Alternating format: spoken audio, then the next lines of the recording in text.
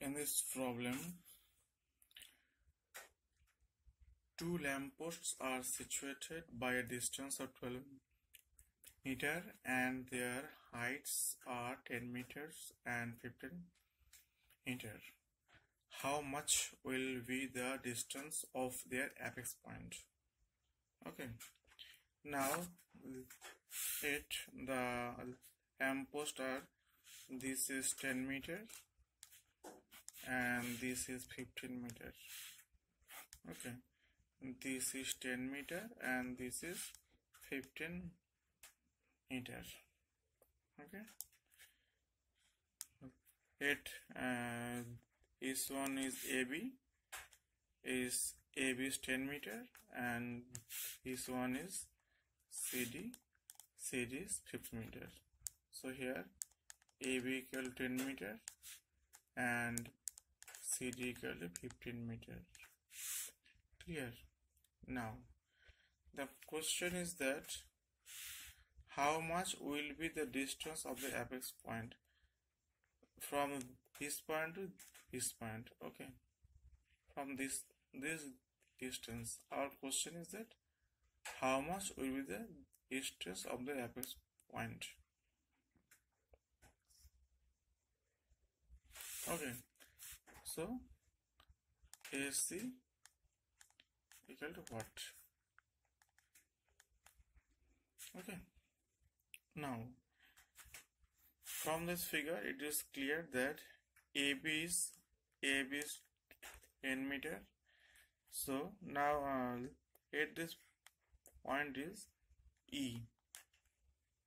ED will be ED will be also 10 meters because AB and ED are same. Now CD will be CD CD will be uh, sorry uh, CE CE CE will be CD minus AB okay. CE will be CE CE only this portion will be CD minus AB that is 15 minus 10 that will be 5 okay. Now our question is AC this is triangle. This is triangle.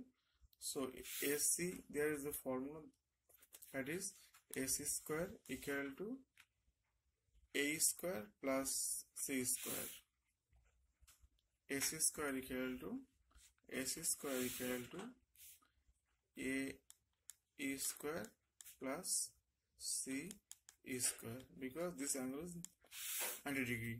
Okay? This is a right angle triangle. Okay?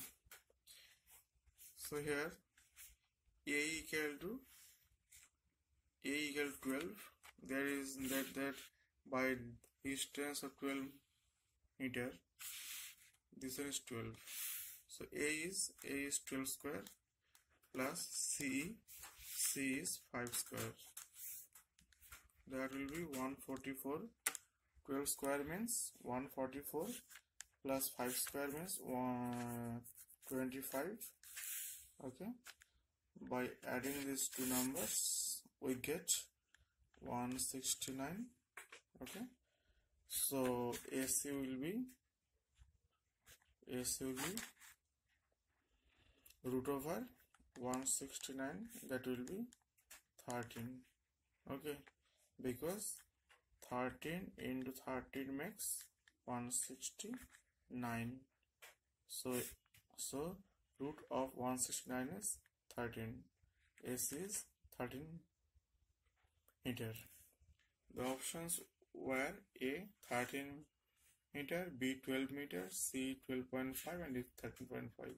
So the answer should be A. Okay. 13 meter is the answer. Clear? If you find any problem, even comment there. Feel free comment. Thank you for watching it.